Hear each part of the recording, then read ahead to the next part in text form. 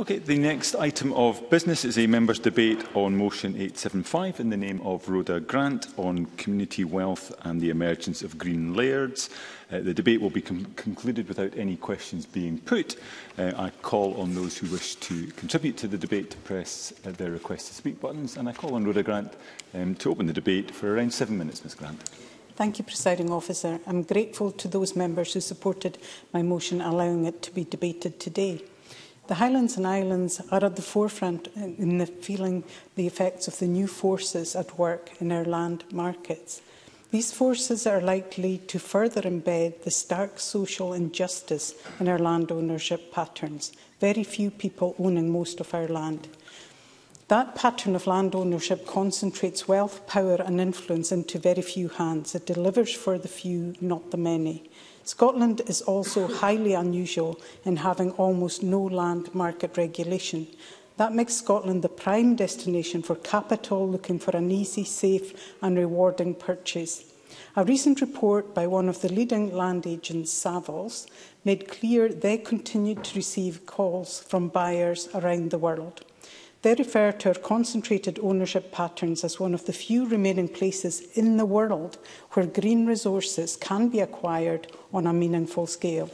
Come to Scotland and buy what you like, no questions asked. Purchase land in Scotland only depends on the size of your wallet, no questions like, asked. The scale of many of our land holdings brings with it, in effect, a local monopoly on land with no questions asked. That's how Anders Poulsen has probably become one of Scotland's largest private landowners, no questions asked. There's nothing new about unregulated land market. What is new is the latest way that it is being exploited here in Scotland. A new type of buyer is emerging, responding to our real concern about climate, the climate emergency. There is evidence that those who market land see the climate emergency as a valuable selling point. We're seeing the commodification and the financialization of the climate emergency stimulating private land grabbing. Brew dogs see seeking to offset carbon emissions promote its green mm, credentials and win new investors by purchasing thousands of acres of land in the Highlands. Standard Life Investment Property Income Trust just bought thousands of acres in the Cairngorm National Park and Gresham House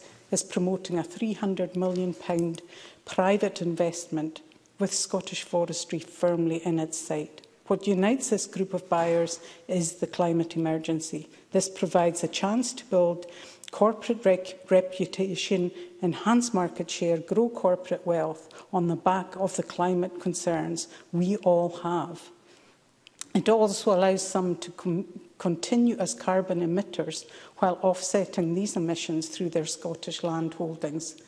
Some purchases are likely to hedge against future carbon um, tax liabilities too. It's a low-risk investment with very high returns.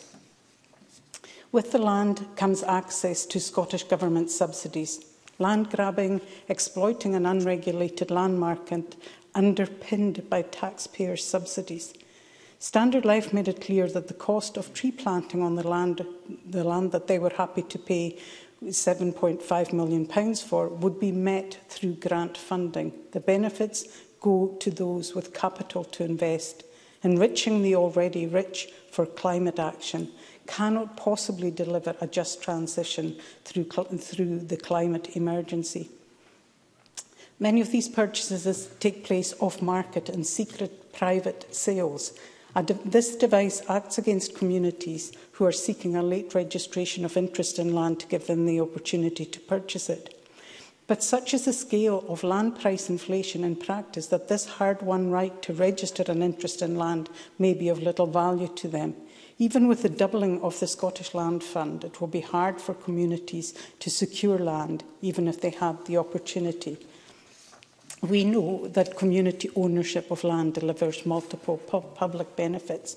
Community owners are not absentee owners. There are people, local people living in that area.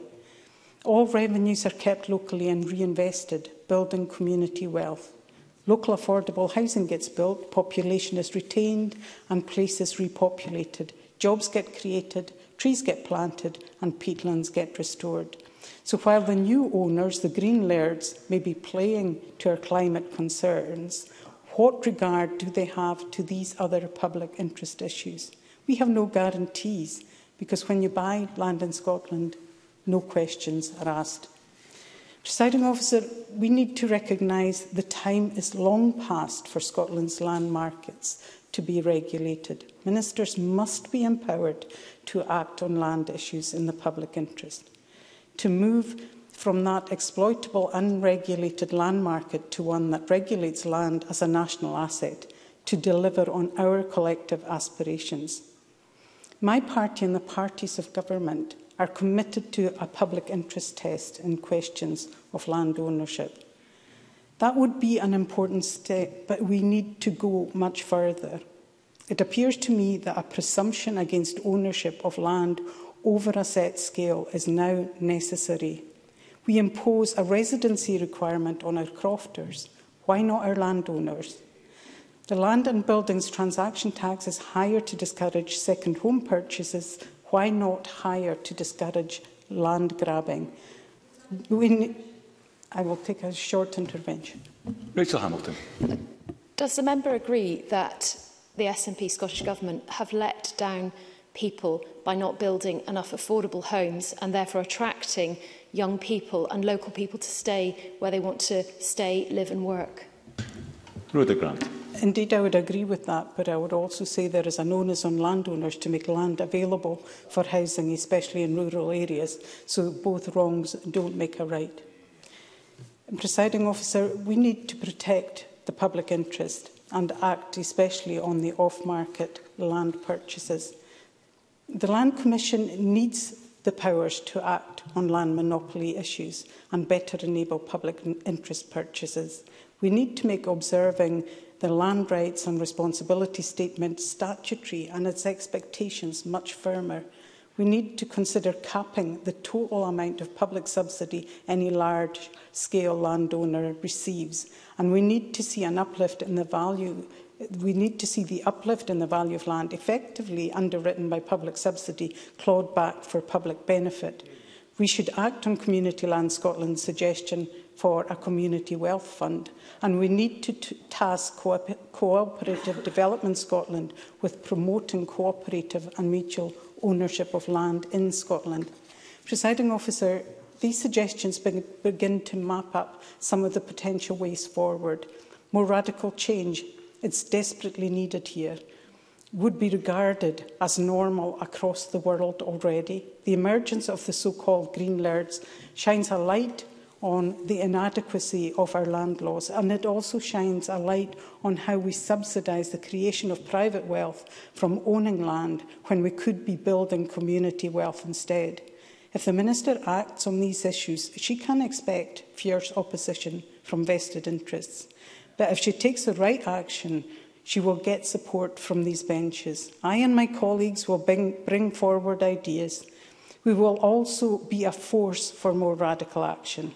And that action is essential to create a more just and fairer Scotland. Thank you. Thank you very much indeed, Ms Grant. Um, we now move to the open debate. I call Emma Roddick, who will be followed by Dean Lockhart for around four minutes, Ms Roddick.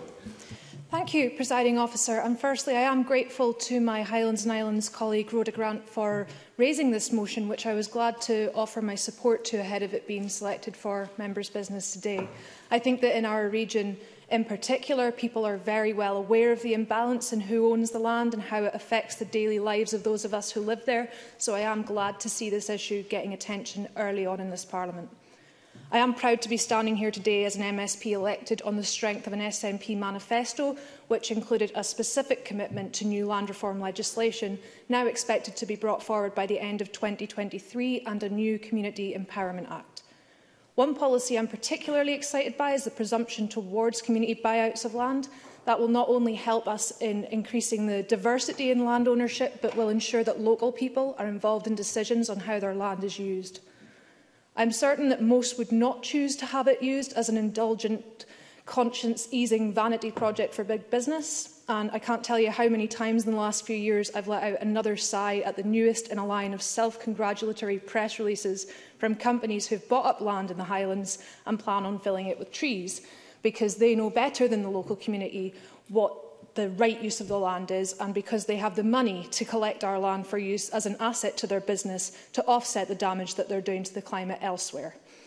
The complete lack of self-awareness of many do-gooders when failing to recognise that they're just another wealthy private buyer of our land who is contributing to the continuation of a skewed and unjust land market is astounding. Like many in my region, my ears do prick when I hear the word rewilding, not because I don't recognise the need to tackle climate change, but because it is so often raised as an action to be taken in my region by people with little to no understanding of those who currently live in or work the land. Or indeed those who could be living in or working the land, but are not due to enduring, enduring effects of the clearances two centuries ago. The attitude that the Highlands are a playground for the gentry or ecotourists is also one which persists from those horrific events. Rewilding can and should happen in conjunction with repeopling, but it will not if you dream up your big rewilding ideas based on a romantic or even Cumberland-esque vision of a sparse, deserted Highlands rather than on the voices and experiences of the local community who currently use it, currently live in it. The Highlands are not just sparsely populated, they are still cleared. I'm all for restoration of the natural envi environment as long as lairds and MSPs alike keep in mind that a true restoration of the Highlands includes recognising the need to reintroduce people to our land as well. The fact that it is large landowners who are speaking out against the general principles of a new land reform bill only serves to tell me that it is exactly what we need to be doing. So let's do more to discourage this idea that it doesn't matter who owns the land as long as there are trees on it. Let's diversify the type of land ownership in this country and, more importantly, let's empower communities to have a say in what that looks like. Thank you very much, uh, Ms and I call Dean Lockhart, who will be followed by Mercedes Vialba. Again, Mr Lockhart, four minutes, please. Thank you very much, Deputy Presiding Officer. Um, I welcome the opportunity to speak in this debate and congratulate Rhoda Grant for bringing this very important subject uh, before the Parliament today. The, the motion highlights the vital significance of the climate change challenge we all face and the need to transition to net zero in a fair and sustainable manner. The scale of this challenge, I, I sit on the Net uh, Zero Energy and Transport Committee, and, and the scale of the challenge we face was highlighted when we took evidence uh, from the UK Climate Change Committee that told us that the UK will have to invest £50 billion pounds a year in the transition to net zero and of course Scotland will have to invest a pro rata share if we are to deliver on our climate change targets It was also made clear that this amount of money simply, this scale of fun funding, simply cannot come from the public sector alone. Uh, the transition to net zero will, in large part, not in small part, in large part have to be driven by private sector investment across all areas of the, the economy, including agroforestry and uh, peatland restoration uh, which brings me to, to the motion today. This need for private sector investment at scale was also recognised in the Scottish Government's climate change plan, which calls for a significant, significant increase in forestry and widespread peatland restoration, and uh, quite rightly encouraged collaboration between carbon buyers, landowners and intermediaries in order to increase the woodland carbon market by at least 50% by 2025. And I think there's, there's a cross-chamber, I would imagine, consensus on, on the need to meet these targets. Rhoda Grant mentioned some of the private sector investments that have taken place in, in recent months, and I think it's important to highlight the benefits of, of, of these uh, investments. For example, the Standard Life investment is a project that will restore woodland and uh, peatland areas over almost uh, 1,500 hectares planting over one and a half million trees with between 50 and 100 people working on the project over the next six years, using land which has uh, no existing agriculture or other value. So, so I think that land use and the benefits that come with that investment are, are to be encouraged. And it's not just, uh, Deputy Presiding Officer, it's not just the private sector that is directing uh, money and investment into these areas. The Scottish National Investment Bank has invested £50 million in, in a managed forest growth fund, a fund directed um, to capture 1.2 million tonnes of CO2 over the next 20 years. Um, these are just some of the examples of how private and, and public sector investment can help deliver necessary reforestation, uh, rewilding and peatland restoration, all of which is going to be vital to meet our net zero targets. And without these investments, we simply would not have the capital. The public sector would not have the capital available to help meet the necessary targets. Um, I do understand concerns raised by Rhoda Grant about unintended consequences, about what this trend might lead to, the potential impact on local and uh, community land ownership, and the implications for public policy. However, additional land market regulation and controls, as set out in the motion today, are not uh, the answer, I believe. There are already in place a, a mix of legislative and regulatory frameworks that provide safeguards for community benefit, benefits which deliver jobs, housing and wider immunity value, helping to deliver what we all want to see in a thriving rural economy, more jobs, more housing, more economic activity. There's also a range of other factors, local planning uh, consent, community, community, sorry, community councils and central government regulations, all of which need to play a part in making sure that everyone derives the benefit from these investments. We also have the Woodland Carbon Code, which sets out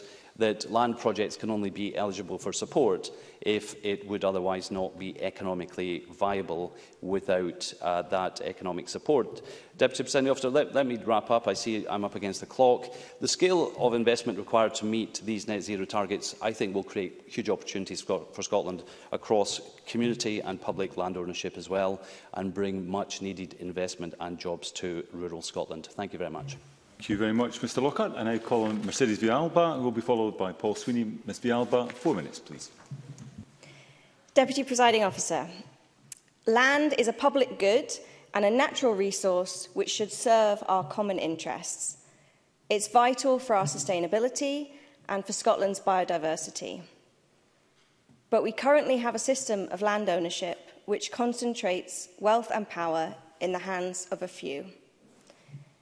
This system operates at the expense of the social, economic and environmental benefits that land offers. So that's why I cannot welcome the growing trend of wealthy individuals or corporate interests seeking to use land to greenwash their record. It's not a sign of growing corporate responsibility or the rich engaging with the realities of the climate emergency.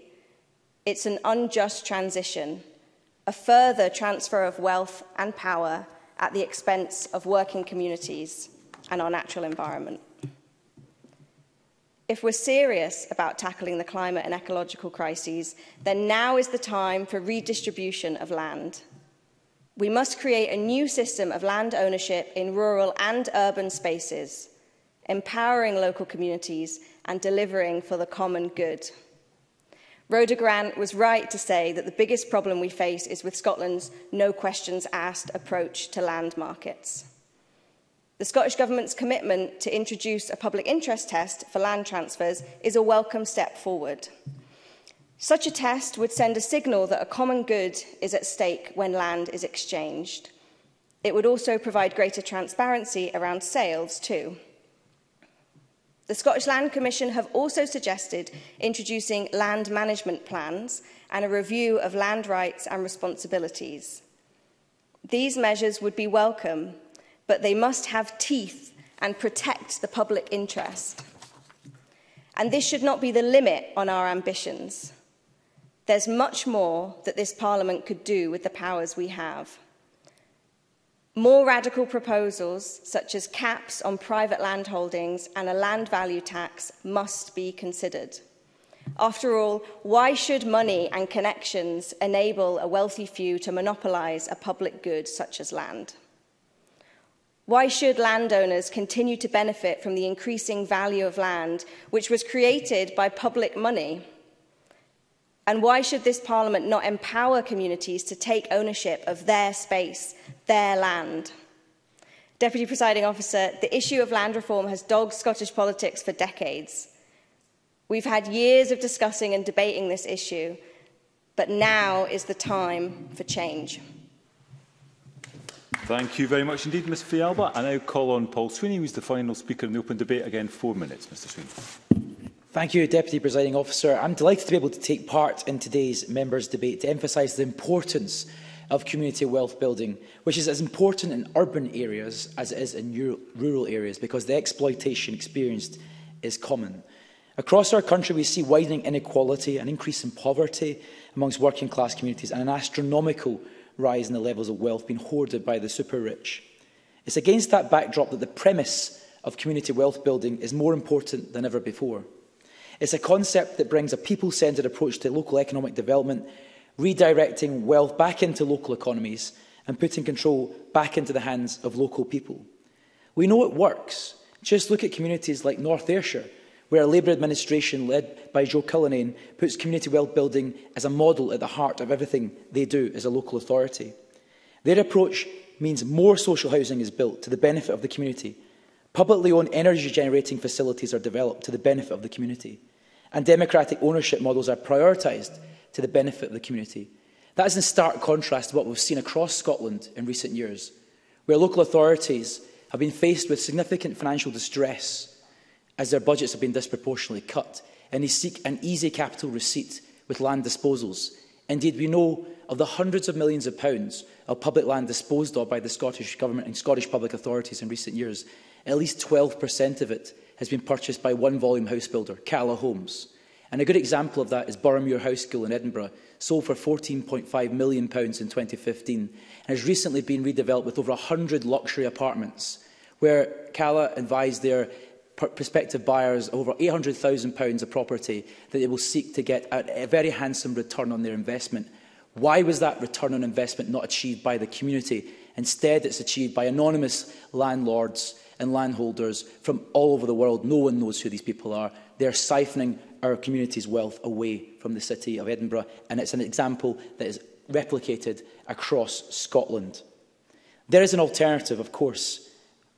North Ayrshire is one example, Preston is yet another. Glasgow could benefit from such a model. Of course, where Preston is reopening libraries and building new libraries, Glasgow is closing its libraries because it's facing severe financial problems. Once Glasgow led the world in municipal socialism, a city authority that owned its tramways, its electric system, its telephone system, its entire structure of public transport and was the biggest social landlord in the world apart from Hong Kong. Yet, over the last 30 years, we've seen all that social infrastructure rapidly dismantled and sold to private interests, where it doesn't serve the people and the profits are extracted. Deputy Presiding Officer, the Scottish Government have indicated that they are exploring rolling out a nationwide community wealth building strategy.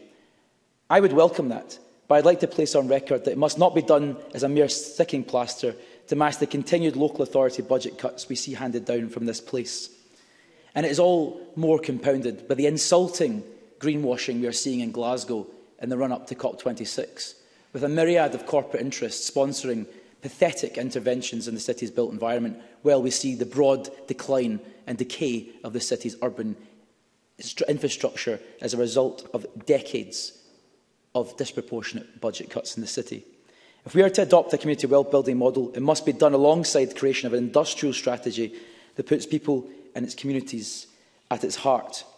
I would encourage the Scottish Government to revisit its uh, proposed compulsory sale order policy, which it quietly, dis uh, quietly dispensed with in the last Parliament. It is an urgent requirement that we bring that sort of power back to the forefront of our agenda to ensure community well buildings put back in the hands of communities.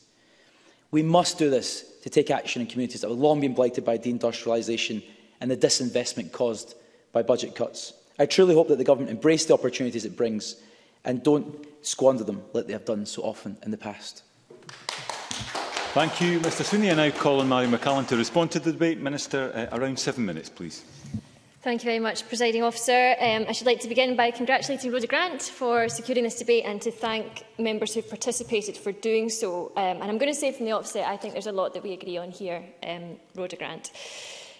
This motion, your motion and today's debate is wide-ranging. Um, it covers a number of key interlocking issues which coalesce around issues of land use and ownership – natural capital, climate change and just transition.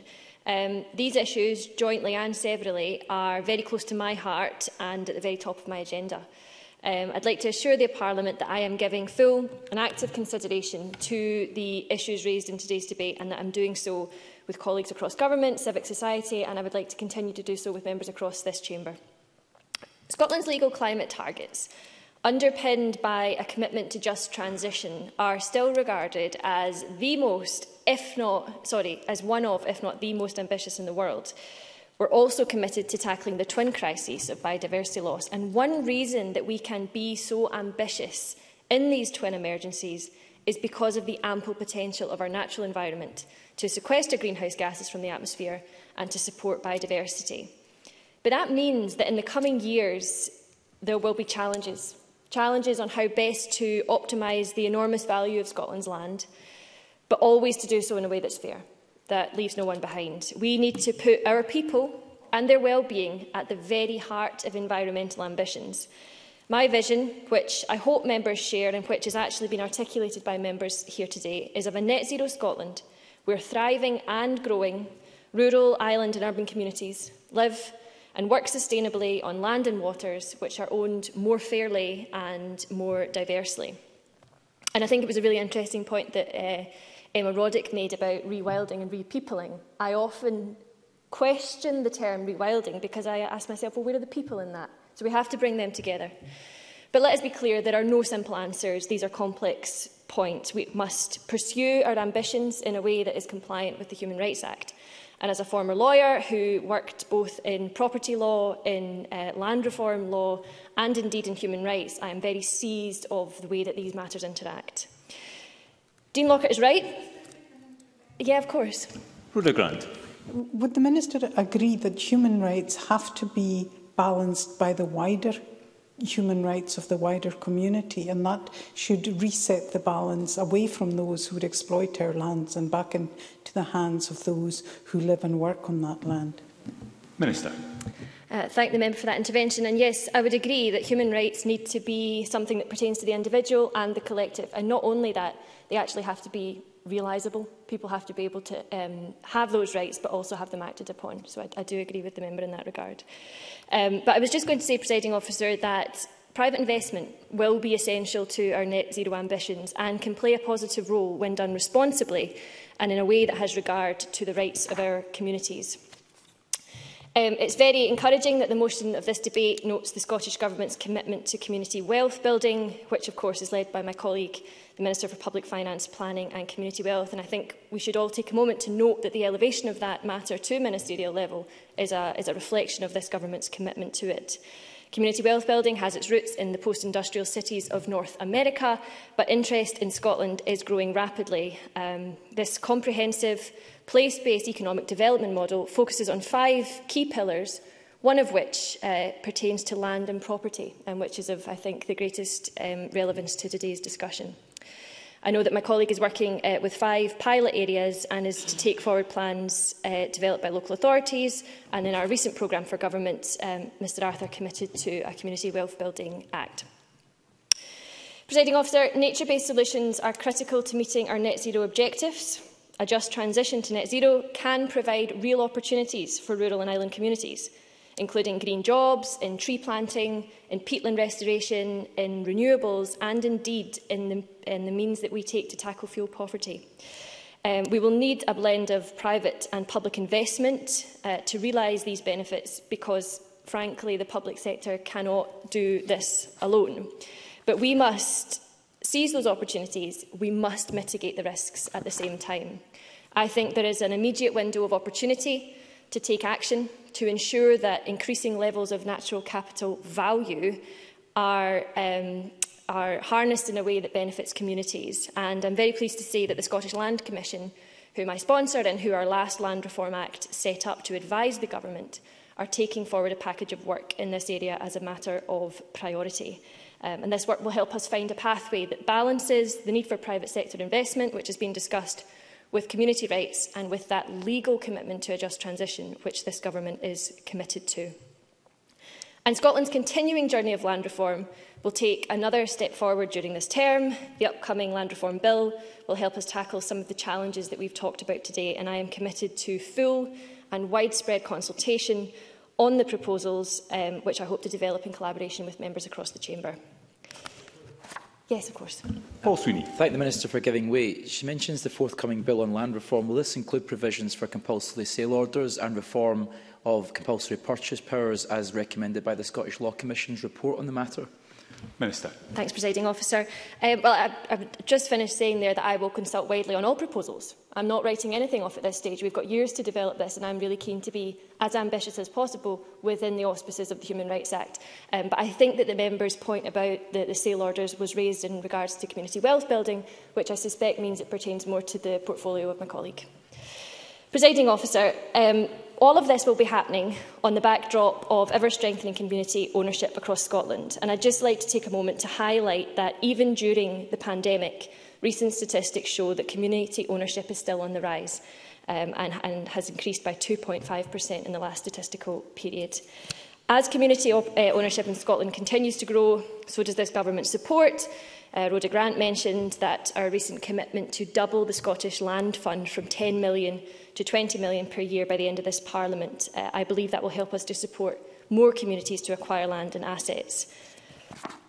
So just to uh, conclude, presiding officer, because I'm conscious of time, tackling climate change fairly, supporting empowered communities to thrive in rural and urban Scotland, and continuing to redress Scotland's historically unfair patterns of land ownership are some of the most important issues uh, facing us in government and members across this chamber. Um, it's up to us to deliver for the people of Scotland a fairer, greener, more equal future.